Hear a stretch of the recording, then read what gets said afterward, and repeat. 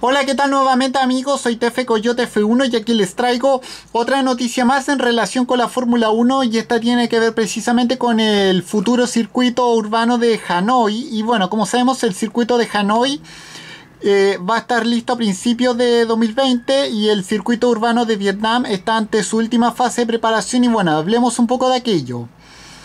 Bueno, eh, el próximo año en Fórmula 1 se va a estrenar el Gran Premio de Vietnam. El circuito urbano de Hanoi será una de las nuevas citas del calendario más largo de la historia de la máxima categoría, que con 22 grandes premios marcará un nuevo récord el, próximo año. Y bueno, el dicho Gran Premio de Vietnam se va a celebrar el día 5 de se va a celebrar el día 5 de abril de 2020. Será la tercera carrera de la temporada en la actualidad.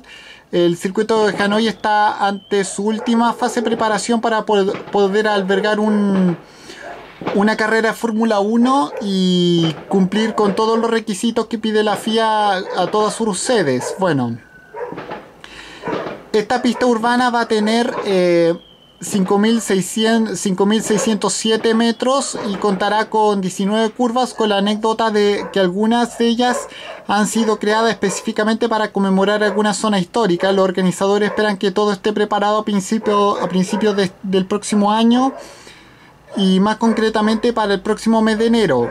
Bueno, eh, bueno, eh, el CEO del Gran Premio de Vietnam, Le eh, en Gog Chi habló del trabajo que se realiza actualmente en la ciudad de Hanoi y esto dice, es un circuito urbano y hay que ajustarlo a las condiciones geográficas eh, reales del área y asegurarse de, que cumpla con todos los requisitos de la FIA y la Fórmula 1. Bueno, por último y como dato extra, se espera que los pilotos puedan llegar a alcanzar grandes velocidades eh, grandes velocidades puntas que ronde los 335 km por, por, hora, quiero decir, en la recta de atrás, que bueno, se encuentra entre las curvas 9 y 11. Y bueno, con esto me despido, adiós, que me fuera, chao.